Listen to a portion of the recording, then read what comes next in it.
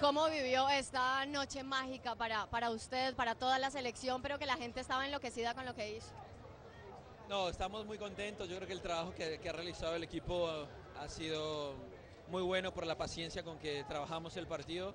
A una Paraguay que se paró bien, que, que es muy difícil, ha ido a los últimos cuatro mundiales, jugó la final de la, la Copa América el año pasado, así que no hay que quitarle mérito. Entonces, contento por los goles y por la victoria. Estamos en vivo para Conexión Colombia y queremos contarle también a estos televidentes su sello con el gol. Hablo del primer gol, ese que se repitió hoy. ¿Cómo lo sintió y de una vez se imaginó eso de, de la Europa League? se está repitiendo muy seguido, ojalá que siga así.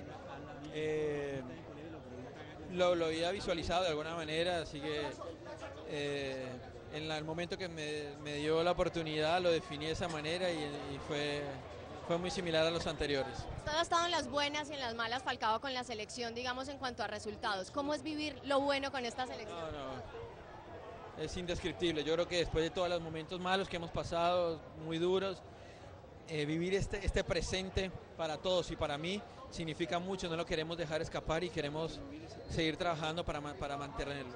Yo sé que usted va a ser súper diplomático respondiéndome, pero estamos seguros de que va a estar en el Balón de Oro. Dios te oiga. Chao. Ahí está